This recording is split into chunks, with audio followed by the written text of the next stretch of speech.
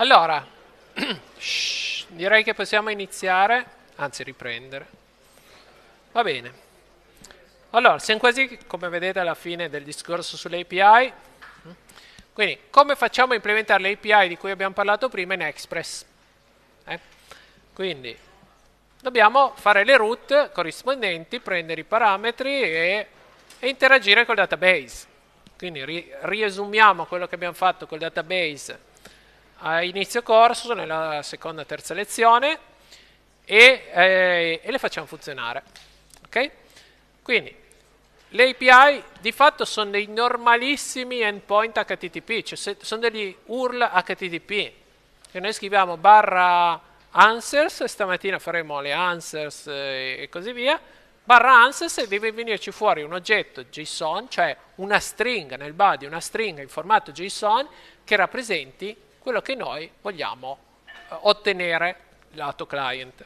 Poi la prossima settimana la portiamo dentro nell'applicazione, eh, facciamo fare la richiesta dell'applicazione, la portiamo dentro nell'applicazione e la visualizziamo. E quindi abbiamo agganciato client e server e cominciamo ad avere un'applicazione un po' più sofisticata, cioè un po' più reale eh, di quello che stiamo facendo finora.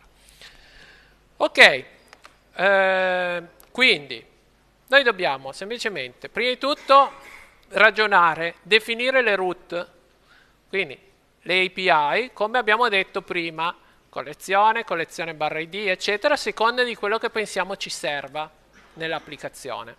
Cioè dobbiamo poter aggiungere, faremo una post che ci consente di aggiungere, dobbiamo poter cancellare, faremo una delete che ci consente di cancellare e così via. Okay?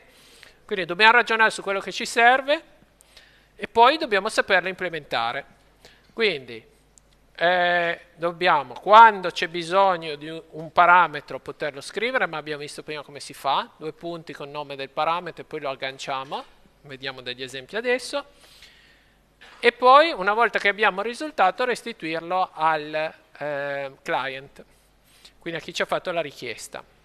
Nella response la faccenda di solito si risolverà molto semplicemente con res.json, ok? Che è un middleware di Express e che prende ciò che noi gli passiamo come parametro, la trasforma in una stringa JSON e la dà al client. Quindi avremo ben poco da, da fare. Okay?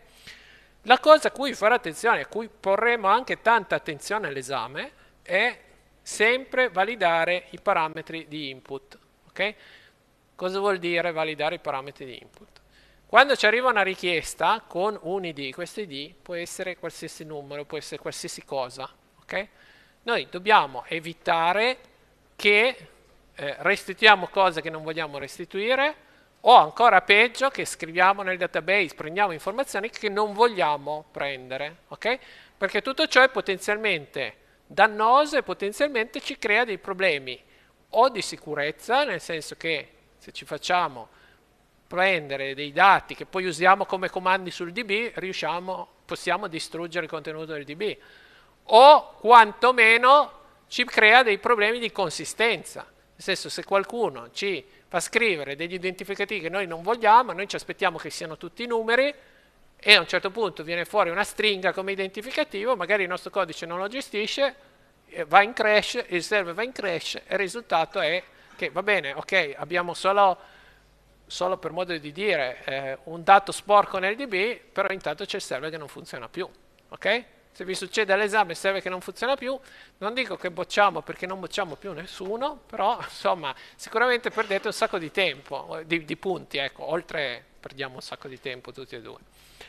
Ok, però eh, no, non, è non lo so se sia bello o no, non bocciamo più nessuno, comunque, eh, cioè il motivo per cui tanti siti non funzionano, non funzionano male e così via, è perché, perché non si fa attenzione a queste cose. Eh perché poi quando vi trovate veramente a programmare in un ambiente di lavoro, eccetera, eh, non è come qui che diciamo, vabbè, non diamo l'esame a giugno, speriamo di no, eh, lo diamo a settembre o due mesi in più, eccetera. No, arriva il vostro capo la vostra capo e vi dice questo deve essere pronto per dopodomani, fai in modo che lo sia pronto. E allora escono degli accrocchi spaventosi, tutte cose, poi lo sistemerò, poi me ne dimentico, poi non c'è tempo di sistemarlo, poi devo fare un'altra cosa, ed è il motivo per cui tanti siti, tanti tante applicazioni funzionano male, eh, magari non, non semplicemente perché lo sviluppatore o la sviluppatrice non sapeva come fare, ma perché non aveva tempo. Okay?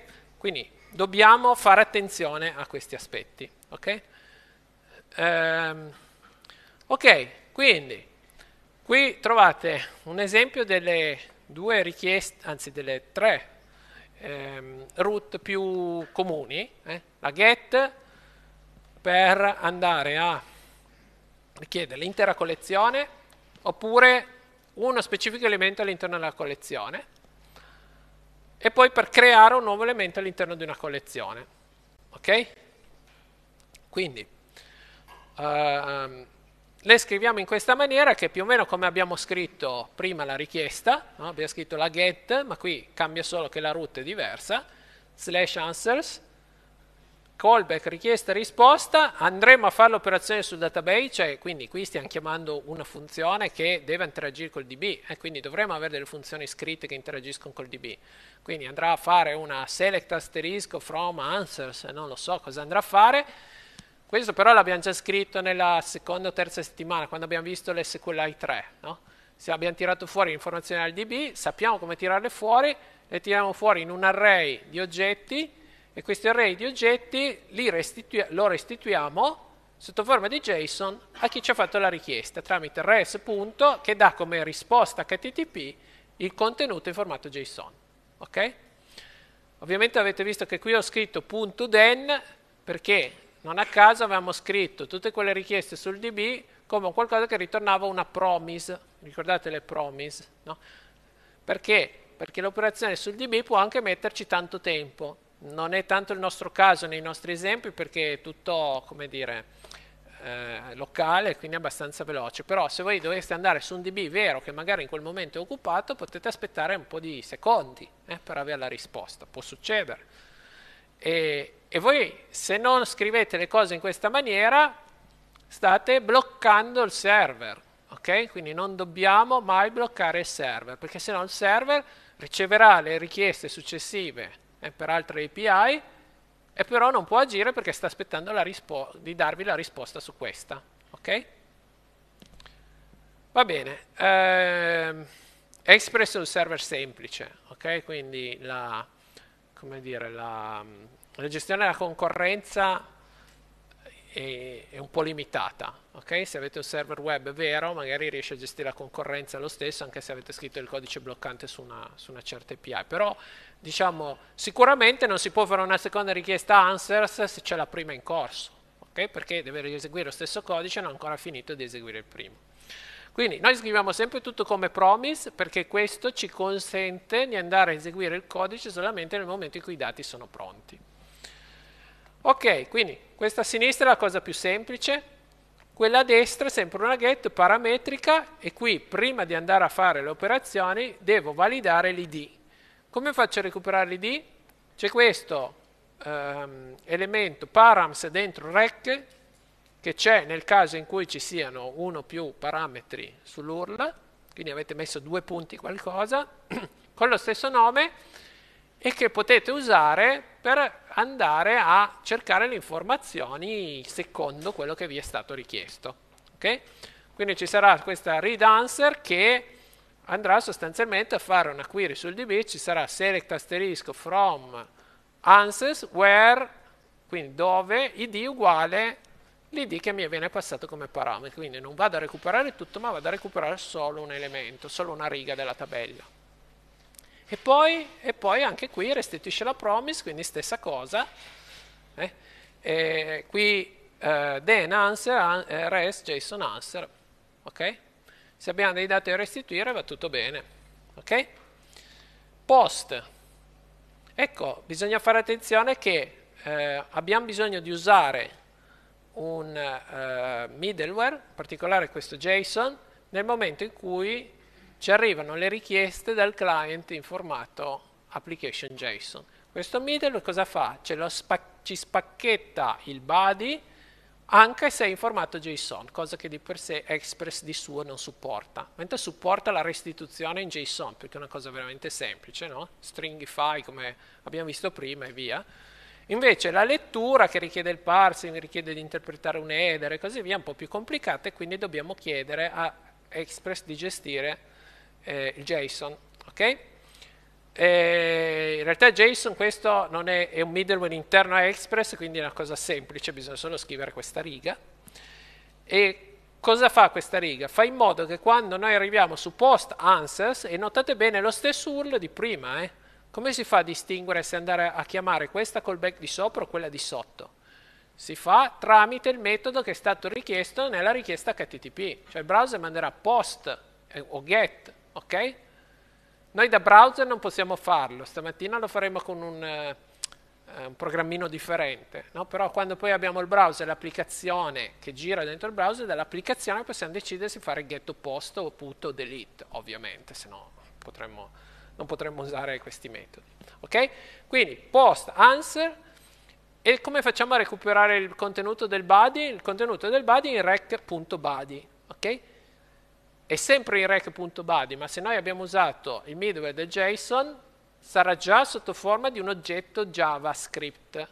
Quindi noi lo possiamo passare come parametro alla createAnswer, la createAnswer si trova un oggetto JavaScript, ok? non una stringa JSON, che dovrebbe se no parsificare e così via. Quindi facciamo fare il lavoro sporco, diciamo così, al, al middleware JSON di Express e quindi abbiamo già l'oggetto che sarà usato per creare l'ANSWER, quindi ci sarà una insert eh, nella tabella ANSWER eh, nell'SQL che ci mette le informazioni nella tabella. Ok? E qui non abbiamo fatto nulla, eh? sarebbe bene dare almeno un codice di ritorno, quindi almeno fare un res. Eh, .end oppure punto .status 200.end nel codice adesso vediamo come farlo un po' meglio perché diciamo possiamo fare una serie di considerazioni sulla post cosa ha senso restituire da una post ok? dopo lo facciamo ecco prima di smettere e provare sul codice vi dico come testare le API perché finché non abbiamo l'applicazione la, client cioè fino alla prossima settimana dobbiamo testarlo fuori dalla nostra applicazione allora, quello che vi consigliamo noi è di installare questo eh, plugin di Visual Studio Code che si chiama REST Client, di questo autore Hua Chao Mao, che è uno dei più diffusi, ha 3 milioni di download, quindi 2 milioni e mezzo, insomma. E, e, e va benissimo, è facilissimo da usare, adesso vi faccio vedere come, come usarlo. ok? Come si fa? Si crea un file di testo che si chiama .http, questo automaticamente aggancia questo punto .http, capisce che sono richieste HTTP e noi ci fa comparire un bottoncino e noi possiamo spedirle al server eh, come se fossimo un, un, browser, col metodo che vogliamo, quindi possiamo fare get, post, put, mettendo il body e così via. Okay? Quindi molto comodo per fare i test. Più difficile da scrivere che vedere. Okay? Quindi andiamo a fare le nostre prove. Allora, abbandoniamo il nostro server base. Quindi questo ve l'ho messo a disposizione, ma è proprio giusto per fare una prova. No? E andiamo a prendere il codice di server che avete già. Quindi questo chiudiamo. Ce l'avete già perché l'ho già messo ieri. Ok? Vedete questo lo togliamo. Ok.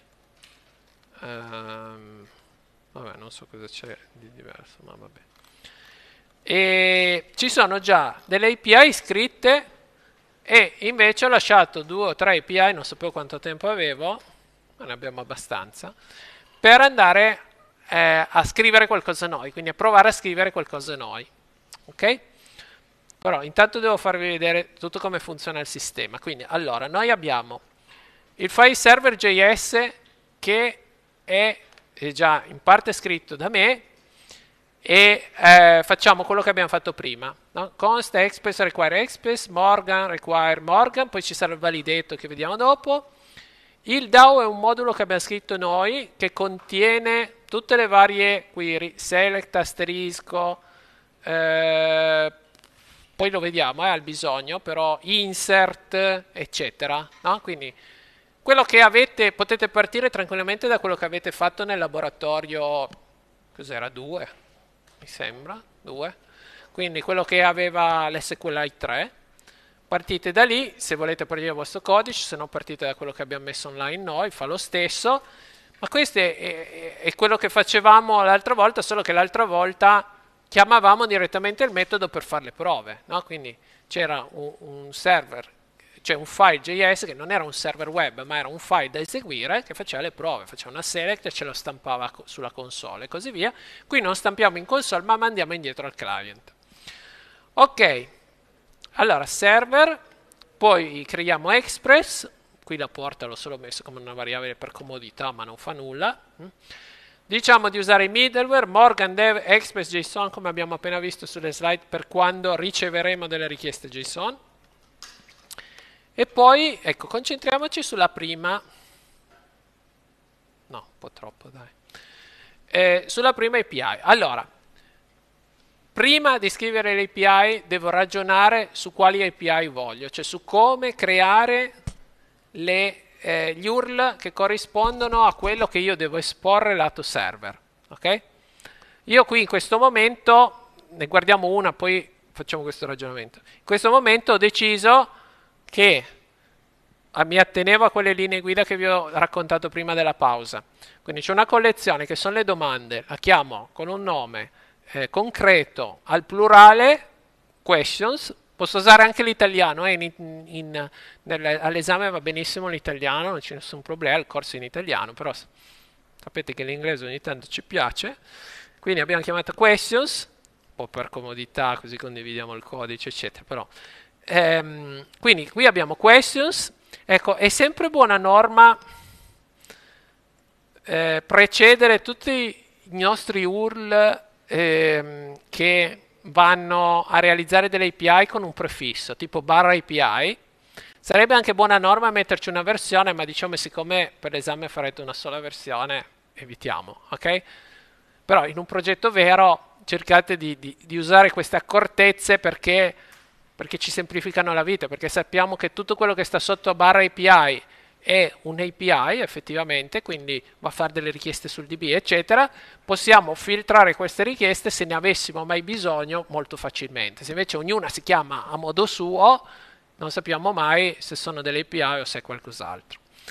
Ok, quindi questo è solo un trucchetto pratico, però come dire, vi invito a seguirlo se potete.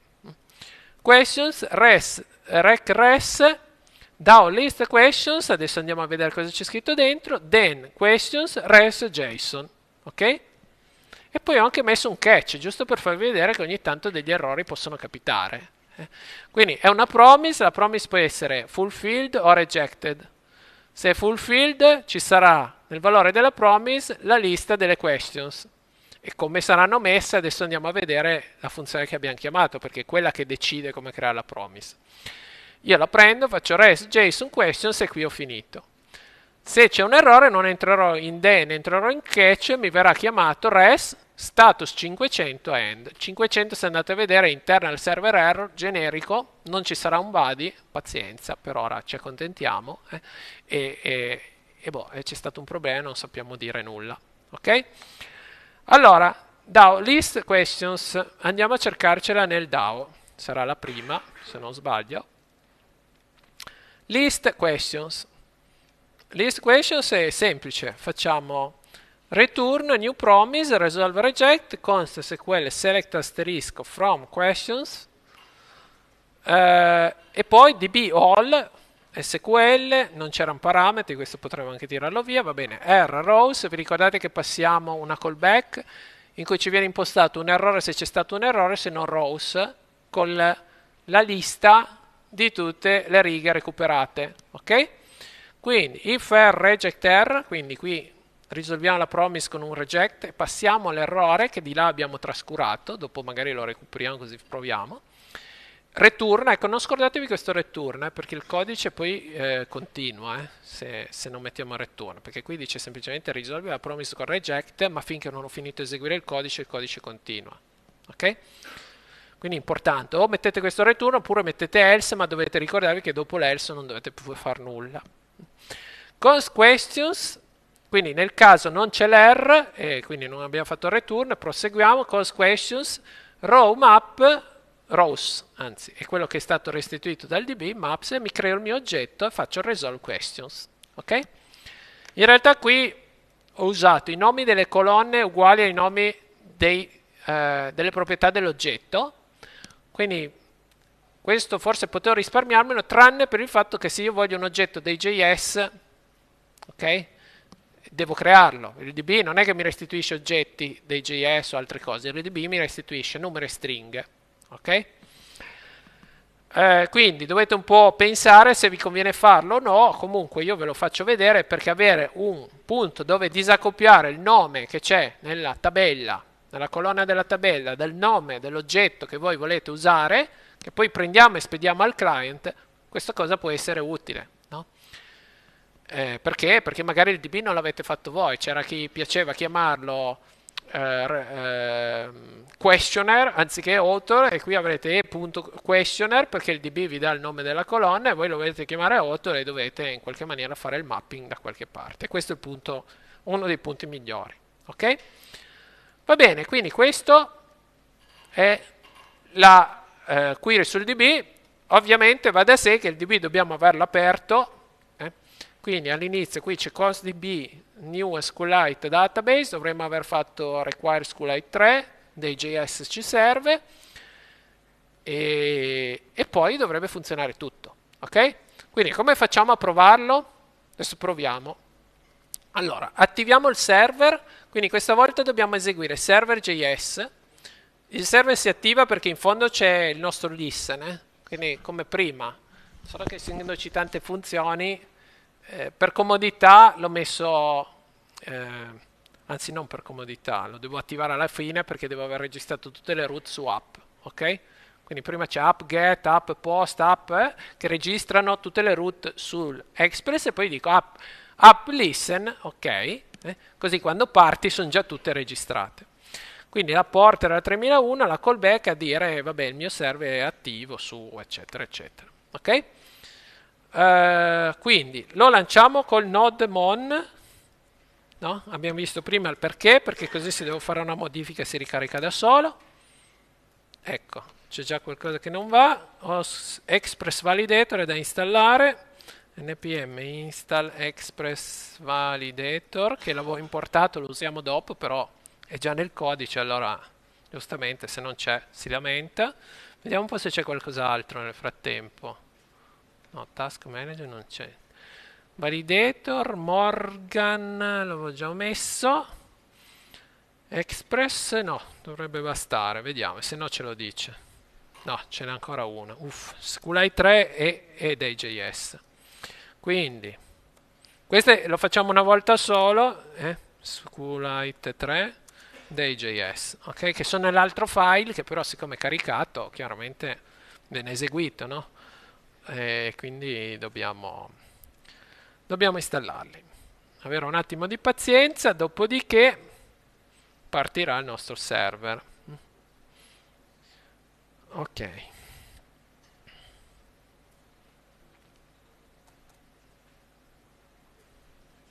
Ok, ci siamo.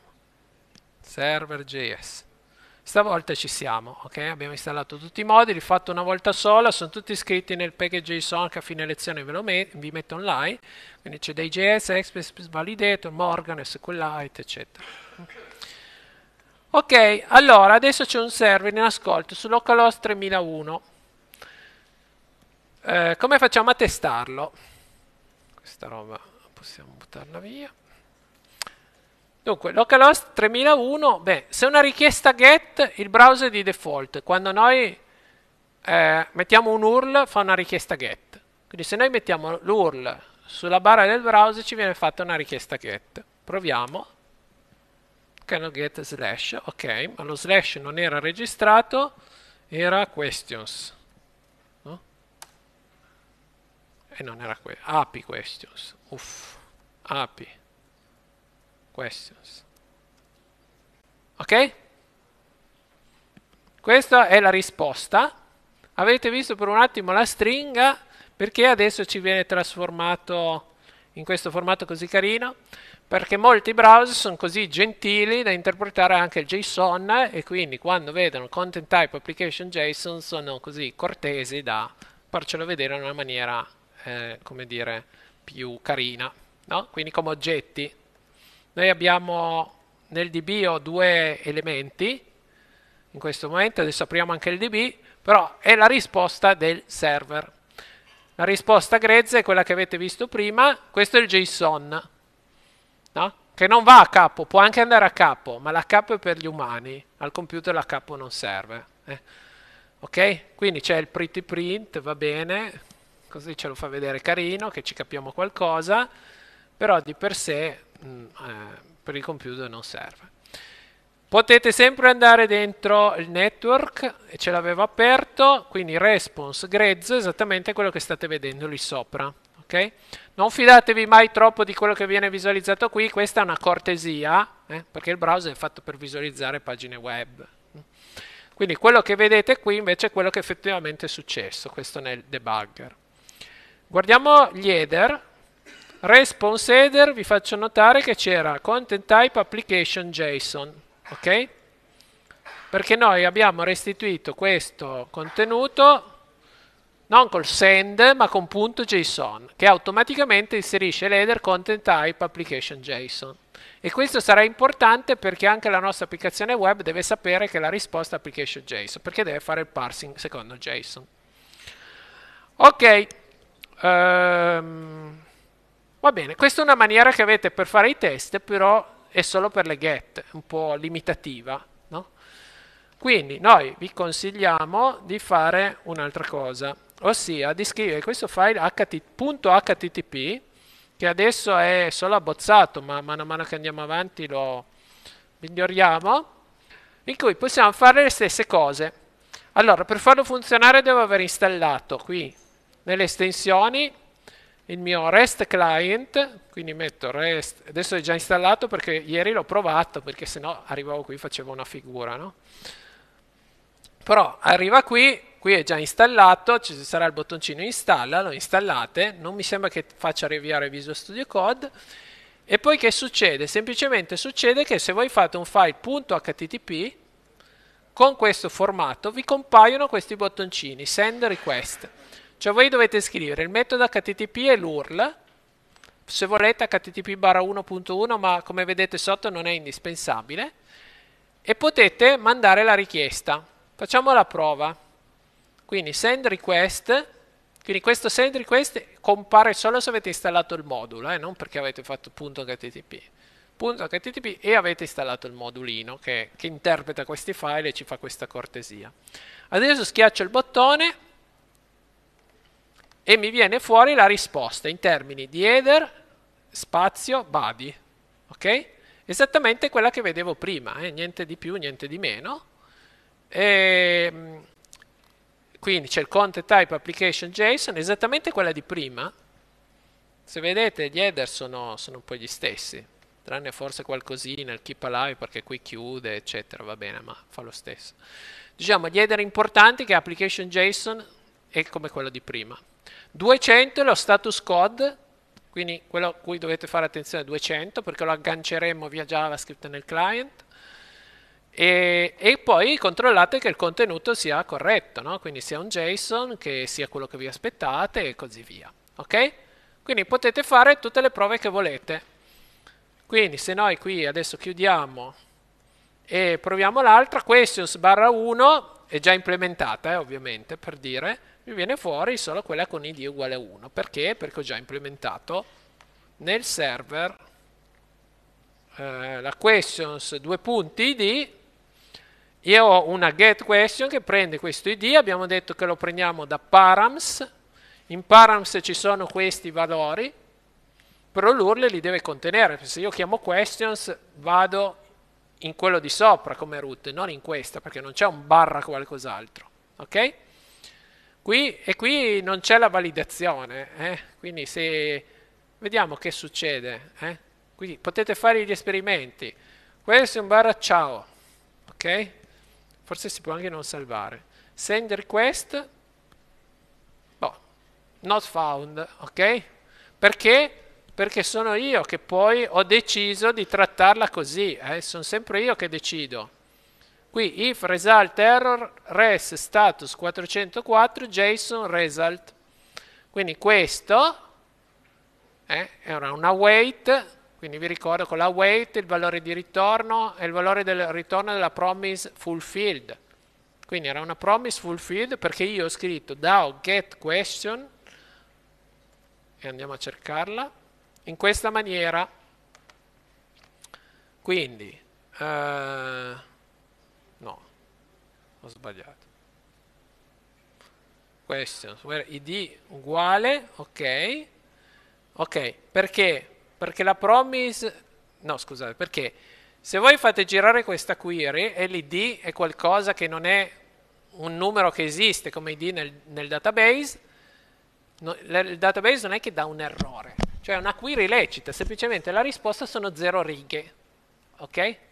Perché non c'è nessuno che ha questo id, punto e basta. Non è un errore nella query per cui il database effettivamente dice query errata o qualcosa di simile.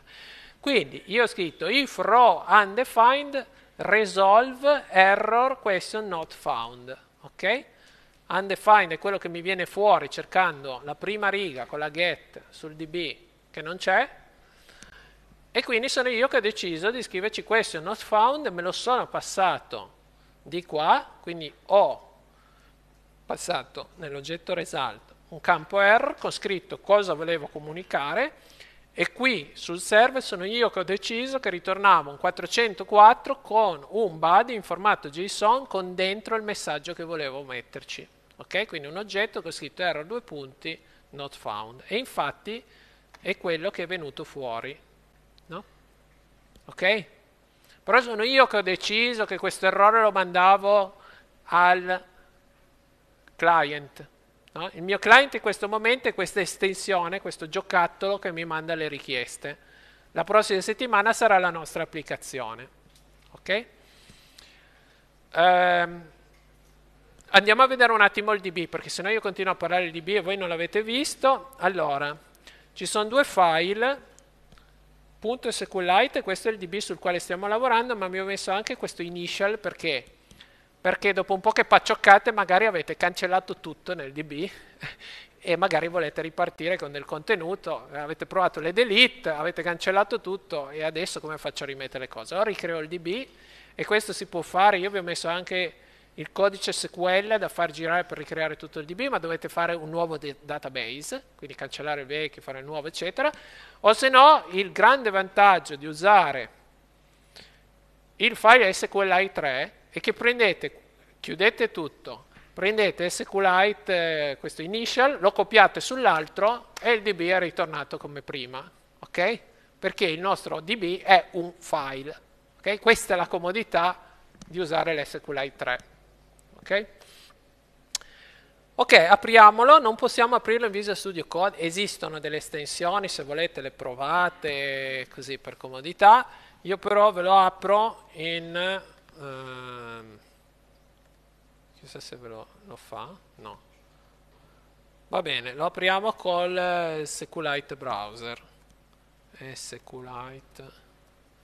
Questo programmino che abbiamo già visto le altre volte, eh, che ehm, avete sia per Linux che per Windows che per Mac, quindi qualsiasi piattaforma abbiate va benissimo, potete usarlo, dovrebbe essere questo, sì, ok. Non si può ingrandire non tutto. Allora il database structure ci sono tre tabelle. Due le ho create io una l'ha creata da sola. Quindi una è answer una è questions. Quindi ho la tabella question e la tabella answer le domande e le risposte. Andiamo a vedere di qua che sono più grosse. Quindi nelle answer c'è quello che avevo nel codice JavaScript fino alla scorsa settimana. Quindi c'è eh, l'identificativo, il testo della risposta, il respondent, lo score, la data e ho messo ancora un question ID come avevo messo la, la, la scorsa settimana perché così riesco a collegare le risposte con le domande no? quando avrò più domande ok eh, questo è answer e questo è question, quindi question è un po' più semplice, c'è l'id, text, testo di, delle domande, autore e la data. ok? Quindi normalissime tabelle, niente di così complicato. ehm, però posso farci delle select, insert, update, delete e se è un database vero posso cominciare a fare queste operazioni. Va bene, cos'è la terza tabella? Così per curiosità, SQLite questa è una sua tabella interna in cui si tiene gli ID eh, per fare l'auto increment, ma sono fatti suoi, quindi questo non ci interessa, ok? Opla. Non ci interessa, non interessano le question e answer, ok? Va bene, quindi quando voi create la tabella e la create con uh, key auto increment si, si, aggiusta e si crea questa tabella, si tiene le sue informazioni mm, e, e, basta. Ok, um, quindi stiamo decidendo, abbiamo visto come creare degli API semplici, no? delle get, niente di particolare. Adesso sarebbe ora di ragionare su quali API effettivamente ci servono per la nostra applicazione. Okay?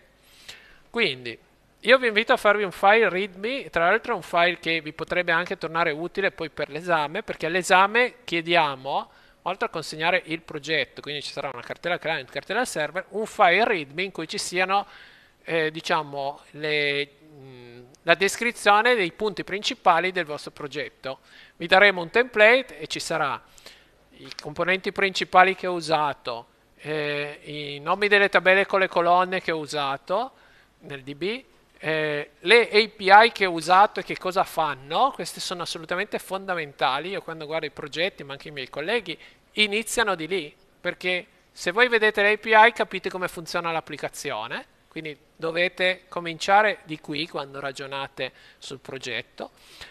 Eh, vabbè, uno screenshot e i nomi degli utenti perché dobbiamo provarla, quindi utente password e queste cose. Comunque vi daremo il template, eh, non vi preoccupate. L'importante è che scriviamo bene, ragioniamo bene sull'API. Ok? Eh, sono scritto in questo formato MD che è molto semplice, eh, più che altro perché così le possiamo visualizzare facilmente. Eh. C'è anche il preview in Visual Studio Code. Quindi io qui ne ho scritte un paio che sono quelle che abbiamo provato. No? Quindi URL, API questions, metodo get, quindi questo lo uso col get, description, cosa fa? Mi ritorna tutte le domande. Body, non c'è body, fine. Risposta, beh, può esserci 200, ok, successo, 500 internal server error. Adesso lo facciamo capitare, così vediamo cosa, come fa. Eh? Response body, an array of object each describing a question, quindi un esempio, ok? Che ci può essere utile. Questa sarebbe la miglior documentazione possibile, tra l'altro non è neanche detto che sia proprio la migliore dal punto di vista di, dell'esame perché se è un po' più compatta forse è meglio, se uno mette get, API, questions, eccetera. Comunque nel template vediamo qualcosa che vada bene, ok? Ehm, in generale se avete scritto l'URL abbastanza bene, quasi la descrizione non serve, no? Perché get questions, cosa vuoi che faccia? Recupera le domande, no? Certo che se uno comincia con get list of items, poi get list of items 2, e il 2 erano le risposte, e l'1 che non c'è, e sono le domande, eccetera, non si capisce più nulla. No? Per questo abbiamo dato delle linee guida per, fare, eh, per, eh, per scrivere gli URL delle API. Ok, eh, e l'altra e quella che abbiamo provato è get question by id, API questions id, no? quindi è sempre questions, notate, eh, è sempre questions barra id, ok? Potevo anche scrivere question, ma va contro le linee guida che abbiamo dato, ok? E se abbiamo dato delle linee guida è perché ci aspettiamo che seguendole vi aiutino. Perché se poi scrivo question devo ricordarmi che nella root devo scrivere question e poi finisce che da una parte ho messo il plurale, dall'altra ho messo il singolare e, e, ho fatto copia e incolla, mi sono scordato della S e così via e sono lì a debuggare l'API perché? Perché non ho seguito le linee guida. Se invece sempre tutto plurale, boh, punto, basta. Eh, e funzionerà anche il copia e incolla. Va bene, eh, id quindi recupera la domanda identificata dall'id quello che passo, non c'è body e c'è response 200 ok, 500 internal server e 404 not found. Per esempio l'id non esiste, ok? Wrong id. Ah, ok. eh, risposta, il body della risposta è un oggetto che descrive una singola question. Notate, qui c'è solo un oggetto, aperta graffa, sopra c'era aperta quadra con un array. Questo devo saperlo, eh, questo fa parte della definizione delle API. Le API devono, nella loro descrizione, devono dirmi se ritornano un array o un oggetto. Di solito se eh, eh, la collezione ritornerà un array, al massimo mi ritorna l'array vuoto, aperta e chiusa quadra, si può trasmettere in JSON un array vuoto, come un oggetto vuoto, come una stringa vuota, tutte queste cose si possono trasmettere. Eh, quindi non c'è problema da questo punto di vista, l'importante è che io abbia conoscenza di cosa viene fatto, perché poi io questa cosa la, col JSON la porto a diventare una variabile in JavaScript e devo sapere se è un oggetto o no, perché se è un oggetto andrò a accedere ai campi, se è un array ci metterò aperta quadra 0, aperta quadra 1, farò una map, farò un for each, ma se faccio un for each su un oggetto poi si pianta l'applicazione lato client. Okay? Quindi devo sapere cosa mi dà l'API, devo pensarlo qui in questo momento in questo momento in cui sto pensando alle mie API. Ok? Quindi, allora, quali altre API possiamo pensare di fare? Quindi, proviamo a scriverne una. Ok? Eh, scriviamo, scriviamo qualcosa che abbia, eh, ecco, che non sia proprio banale, no? Perché ovviamente avete question e question id potete scrivere answer, answer id, si tratta solo di fare copia e incolla e cambiare il nome. Ok?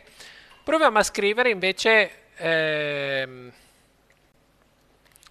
che so, eh, quindi scriviamo con la stessa sintassi, recuperare tutte le risposte di una certa domanda. Ok?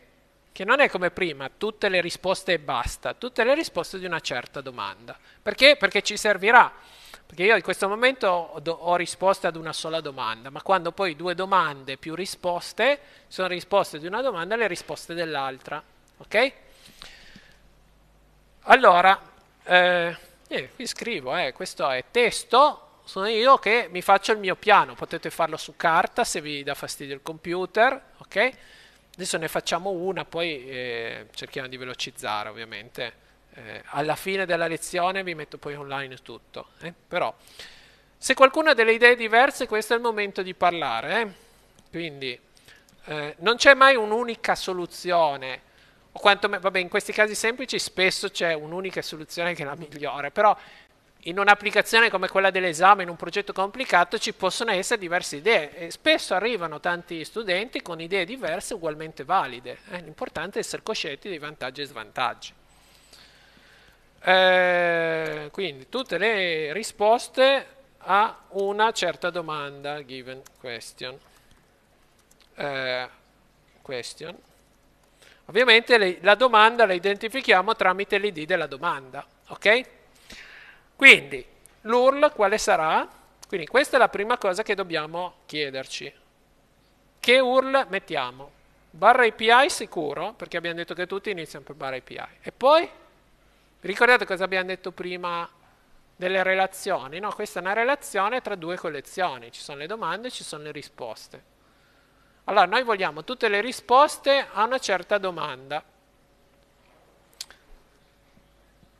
Io la scriverei così, eh? questions, col plurale, eh? abbiamo detto che mettiamo sempre il plurale, poi il nostro id, il maggiore e minore è solo una questione sintattica, ma questo lo leggiamo noi, se vi piace di più scrivete due punti d, va benissimo, insomma l'importante è che capiamo che quello è un parametro, non è un nome. E poi answers. Eh? C'è qualcuno che avrebbe scritto answers id question? Di per sé si può scrivere, mi piace meno perché? Perché di solito la prima è la collezione cui, sulla quale andiamo a specificare l'identificativo e poi specifichiamo la relazione. Quindi dopo diciamo che vogliamo le risposte. Ok? Però, visto che non, abbiamo, non, chiediamo che sia tutto fatto come dice REST, eccetera, diciamo che qui la soluzione è accettabile, l'importante è che ci sia scritto question, answer, un id. È importante sapere che quell'id è l'id della question, quindi della domanda. Ok? Metodo che metodo usereste? Cioè, abbiamo solo quattro scelte, eh? get, post, put e delete. No? Una get. Questo recupera informazioni. Tutto ciò che recupera informazioni non modifica niente lato server è sempre una get. Ok? E a questo punto description, vabbè, description, description poi la metteremo. Eh? Uh, request body eh, none, ok? Cioè non c'è body nelle get, punto e basta. Mm? Quindi quasi superfluo. Response. Cosa ci può rispondere questa? Secondo me è come quella di prima, quindi qui ci sta benissimo il copia e incolla. Perché? Perché di fatto andiamo a ricercare una domanda per id e questo id potrebbe anche mandarci a una domanda che non esiste, perché l'id, boh, qualcuno ci mette un numero, qualche stringa, qualcosa, quindi potrei anche dire not found, oppure internet server error, va bene, se no success ci sarà la risposta. Response body, un oggetto, no, non è un oggetto, ma sono più oggetti, no? Quindi in realtà io andrei a copiare direttamente di qua. Uh, allora, response body, copia, lo faccio anche così rimane bene nel video e si vede cosa facciamo uh, paste. An array of object cioè scriving questa è una answer. An answer va bene. Quindi ci mettiamo lì id cos'era? Text for of facciamo un esempio eh, for of questo era quest, no respondent. Alice eccetera. Eh, ci sarà score, alla fine lo metto, ma no, vabbè, mettiamolo, va. Score, ecco, notate score tra virgolette, lo score invece è un numero, eh, il JSON supporta i numeri, quindi i numeri non hanno le virgolette. E mettiamo l'ultimo, question id e 1, eh, ok? Notate che il JSON non vuole la virgola dopo l'ultimo, eh? però noi il JSON non lo tocchiamo mai a mano, questa è documentazione, quindi in realtà non viene eseguita. Eh? Ok, e poi ci sarà id 2, 3, eccetera, no? facciamo un esempio, va bene. Ok? Ecco, questi nomi che mettete qui, questo è il vostro contratto nelle API, cioè indipendentemente da cosa c'è scritto nel DB, nel nome delle colonne, questo è quello che l'API ritorna. Saranno fatti miei nel codice fare in modo che ci siano scritti questi nomi. Eh, come prima abbiamo detto c'era nel DAO, c'era questa cosa no, che creava l'oggetto. Qui posso dare i nomi che mi pare. Se la voglio chiamare id question, la, la chiamo id question. L'importante è che sia coerente con quello che ho scritto qui, perché questa è la specifica. Il, l'API potrebbe anche farla qualcun altro, anzi in generale nei progetti seri, nei progetti grossi c'è qualcuno che fa il server e qualcuno che fa il client. No? O è piccolino, fate tutto voi, come fate per l'esame, oppure c'è qualcuno che fa il server e dice io ti restituisco i dati in questo formato, poi ti aggiusti, eh, se c'è da convertire i nomi, e mappare i nomi e così via. E chi fa il client idem, è un po' come quando fate una funzione, no? uno la chiama e l'altro la implementa, e chi la implementa si basa sulla signature, cioè i parametri, e chi la chiama deve chiamarla con quei parametri. C'è una domanda, sì? Sì. Nelle get? Sì, nell'ot... Sì. No, allora, Dice, nell'ottica di mantenere l'app single page noi dovremmo fare una get sempre di tutti i dati? No, no. La prossima settimana vediamo, noi possiamo fare più get nella applicazione, single page application, che vanno su API diverse. No? Anzi, le potrebbe addirittura far andare in parallelo, se proprio volessimo. Okay? Quindi eh, a noi interessano delle API che ci diano eh, delle azioni che hanno senso per la nostra applicazione. Questo è il principio che ci deve guidare, che è diverso da un'API che mi dia tutto perché non ho voglia di chiamarne 5, ok? Ehm, cosa vuol dire? Che hanno senso, vuol dire che se io ho un bottone, che so, incre- come vediamo tra poco, incrementa il voto, io vorrei avere un'API incrementa il voto, ok? Perché? Perché questa è un'azione che deve fare il server. Se ho eh, la possibilità di aggiungere un, una risposta, vorrei un'API che mi aggiunga la risposta.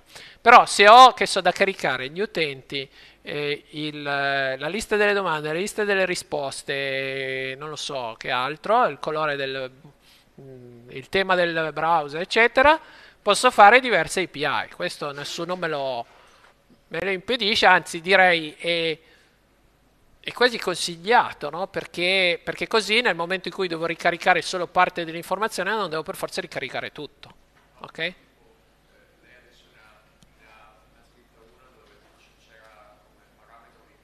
Sì?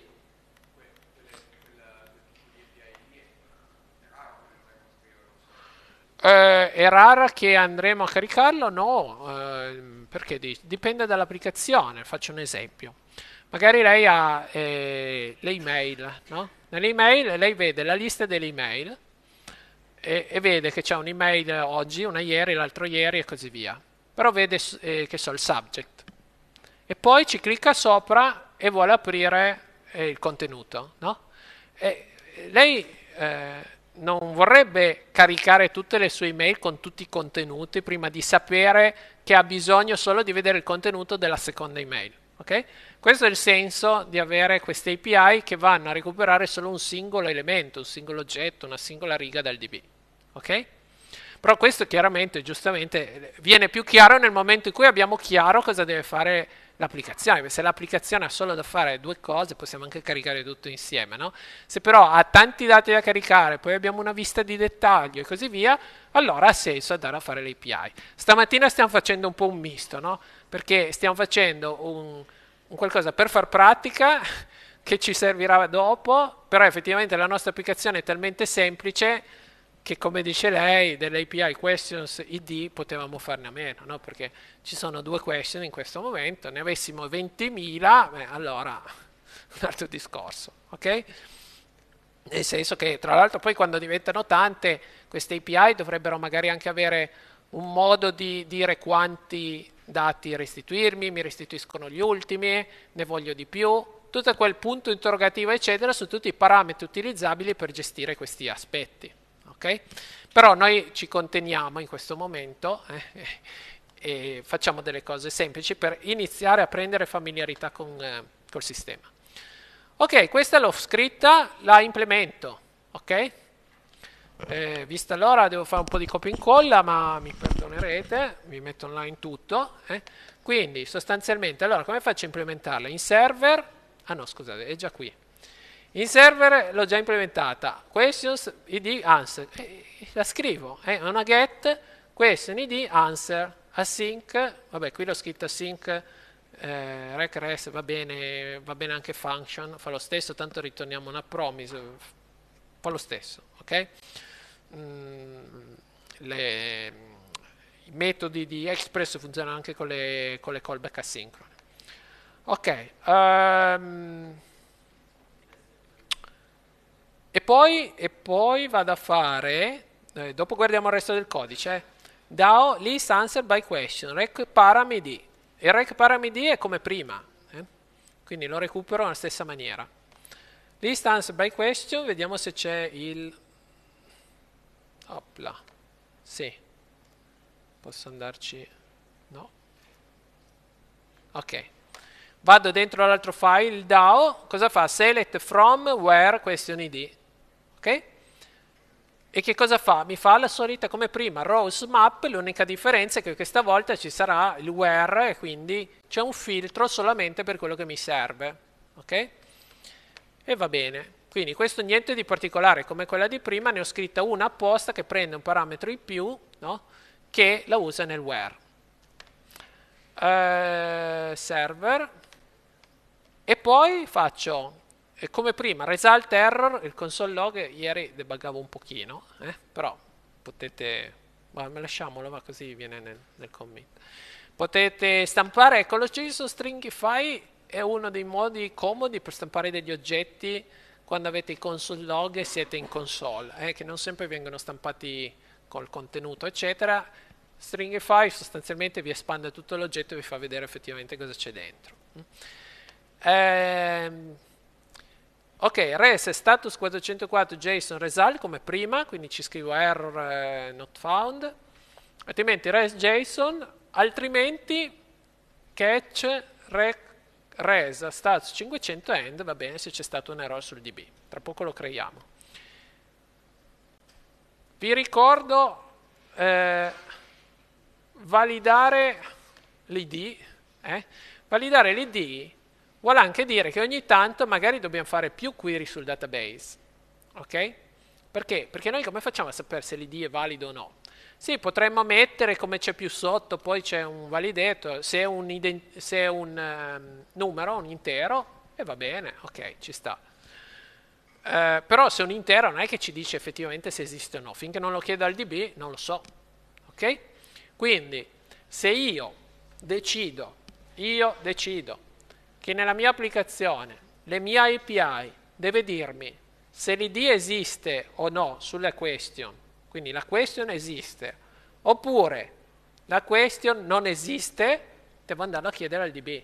Perché con la seconda query, quella col where, non so se non ho trovato nulla perché non ci sono risposte ma la domanda esiste, oppure la domanda non esiste per cui non trovo nulla. Ok?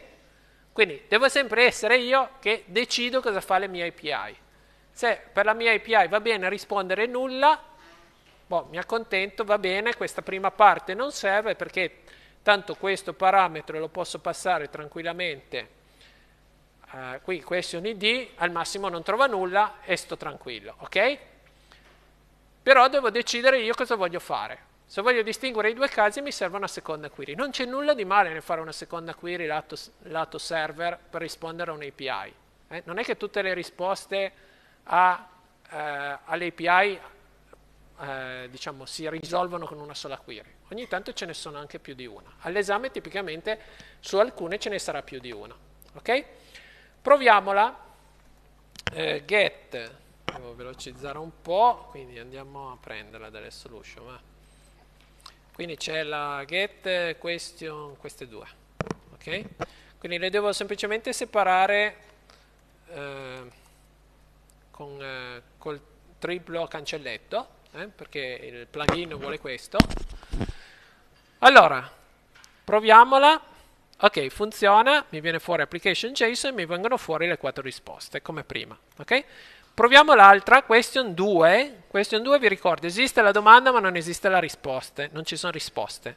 Proviamo e mi viene fuori l'array la, vuoto. Ok?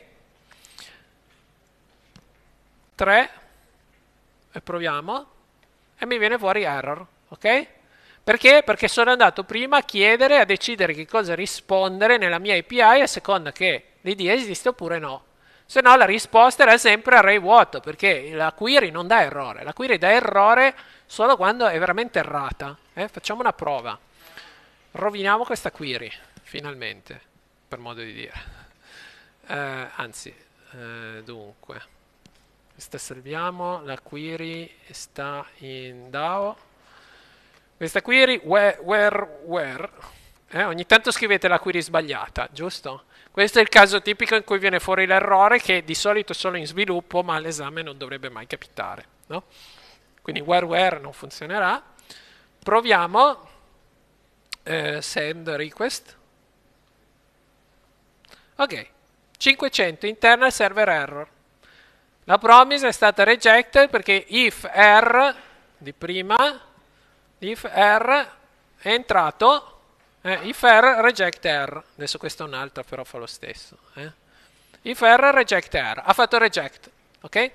Un attimo, eh, che non ho ancora finito, c'è ancora una cosa importante, andiamo a fare l'API importante, perché ci serve la prossima volta, e l'API importante è quella della post, quella per creare l'oggetto. Senza creare oggetti facciamo ben poco nella nostra applicazione. Allora, copio perché sennò non ci stiamo dentro. Allora, facciamo la creazione, quindi noi decidiamo che vogliamo aggiungere una nuova risposta, mm? quindi ce la leggiamo, adesso ve la metto e ce la leggiamo. Ah, preview.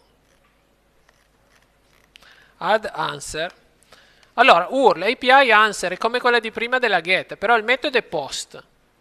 Dovremmo passare un application type eh, JSON, dovremmo dare un oggetto, quindi anche qui dobbiamo specificare quali sono i campi dell'oggetto. Questo arriva dal client, quindi dovremmo adesso scriverlo noi per provarla e ci risponderà 201 created oppure non funziona e c'è un errore di parsing eh, perché non è un JSON e quello che volete. Risposta. Risposta. Risposta dobbiamo decidere cosa rispondere. Possiamo chiuderla con ok, ma di solito non basta. Perché? Perché quando ho creato un oggetto nel DB, l'oggetto prende un nuovo identificativo no? che crea il DB ed è solo il DB quello in grado di creare questo identificativo. Ricordate in lab, avete questo film, lo create, fate add, lo create, poi non sapete che ID dargli. Perché? Perché non avete il server. Adesso che il server c'è, e la prossima settimana lo colleghiamo eh, con, la, con l'applicazione, ci arriva questo benedetto ID, dobbiamo restituirlo al client. Ok? Quindi un'opzione è restituire solo l'ID, se 200 ok, 201 creato, restituire solo il numerino dell'id e ci può stare. Una seconda opzione, come ho fatto qui, è restituire tutto l'oggetto con in più l'identificativo, quindi id 15 che sopra non c'era. E perché potrebbe essere utile questa seconda opzione? Perché magari aggiungendo ha corretto anche qualcosa nelle informazioni, quindi potrei avere un oggetto aggiornato, ci può stare, ok? Decidete solo cosa fare questo id in qualche maniera deve tornarvi indietro. Ok? Allora, l'abbiamo implementato per recuperare l'id. Dovete andare a vedere. Allora, app post. Qui API answer. Andiamo a vedere eh, dov'è. Create answer. Ok? Eh, definition. Create answer ci fa insert, eccetera. Vi ricordate come si recupera l'id? C'è questo this last id deve essere una function e non una raw function, ma questo l'abbiamo già visto nella settimana, nella settimana 3, 2 o 3, non so più. E lo restituiamo e quindi nel server poi lo usiamo. Eh? Answer id, ecco in realtà questa quindi è diversa dal readme che ho scritto, poi magari in ufficio la correggo. Eh? Questa restituisce solo l'id e non mi restituisce tutto l'oggetto. Ok? Se no dovrei prendere l'oggetto decidere se, se, so che il database non mi fa modifiche, prendo l'ANSER e ci aggiungo l'ID, ok? Eh, quindi devo solo decidere che cosa fare, ok? Proviamola, eh, per provarla vado a copiare di nuovo, perché la posta è un po' più lunga perché devo fornire un body, ok? Quindi per fare la post, quindi qui devo separare, così mi viene sender qui, post API answer come vabbè questa è answer, non c'era. Content type application JSON, linea vuota come in HTTP e poi prendo questo e questo me lo manderà come body. Facciamo una prova. Send, ok, create 201 5 perché io non ho restituito l'oggetto e ho restituito solo il numero, ok? L'id, il nuovo id. Se vado a vedere cosa c'è qui dentro, Adesso c'è 5, prova, Bob, quello che ho creato. Ok? È andato nel DB. Il DB ha reso permanente la modifica. Ok? E quindi mi raccomando fate queste prove. Eh. Ancora una cosa, l'ultima. Eh, dove è andata? Server. Notate che ho fatto validazione qui. Eh? Io non voglio per esempio, questo è un esempio. Ho imposto che la lunghezza del respondent sia almeno uguale a 1. Non voglio inserire dei respondent con stringa vuota. Questa è una decisione che ho preso io in questo momento sul server, ma giusto per farvi vedere un esempio. Score deve essere un intero, ok? Qui non ho messo che non deve essere negativo, l'avevo messo sul client, non è la stessa cosa, la prossima settimana ne parliamo, però almeno non voglio mettere una stringa e così via. Cioè, tutto quello che arriva qui deve essere validato. Ok? Mi raccomando, importante, eh, questa cosa all'esame la guardiamo molto, quindi ci tornerò comunque spesso, perché chiunque può mandare richieste al server, non solo chiunque in giro per la rete, no? Perché magari se sei autenticato sei tu invece quello che può fare. Però eh, qualsiasi utente, anche autenticato, può decidere di aprire un programmino come questa estensione Visual Studio Code, come ce ne sono tanti, farvi la richiesta post e mettervi dentro quello che vuole, indipendentemente dall'app. Chi mi dice ma nell'app ho fatto non ha capito nulla, ok? Nell'app ho controllato che nell'app non controlli nulla, l'unico posto dove si controlla che ciò che arriva sia coerente è il server, punto e basta, solo il server. Nel, nel client facciamo tante cose carine, comode, per far funzionare bene l'applicazione, ma non sono qualcosa che impone un certo comportamento sul database, perché l'unico che può imporre il comportamento è il server, ok? Guardatevi poi ancora, io ve l'ho, ve l'ho già messa, no in realtà non l'ho messa ma la creeremo, no il voto, sì, l'ho messa, ok. Quella del voto perché è interessante, eh, perché nel voto noi non facciamo, non decidiamo di fare più uno, eh? noi diciamo che fa più uno ma lo deve fare il database. Provate un po' a pensarci perché, perché lo faccio fare il database, eh? la prossima volta vi do la risposta. Eh? Quindi nel DAO ci sarà vote, eh, vabbè, la dobbiamo fare, adesso ve la metto online. Eh? Il voto è questo. Dov'è? Ok? Lo facciamo fare al database. Pensateci come mai. Prossima volta la risposta. Ok, direi che per oggi finiamo qua.